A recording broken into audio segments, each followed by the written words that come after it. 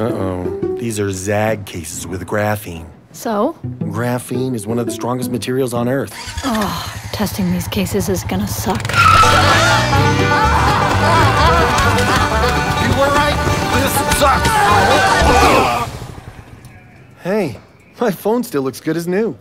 Don't be a dummy. Protect better with ZAGG. Now with graphene.